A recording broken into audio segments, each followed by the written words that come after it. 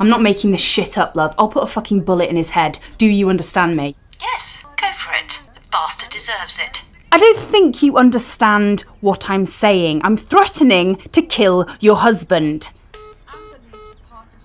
Hello? Fucking bitch hung up on me.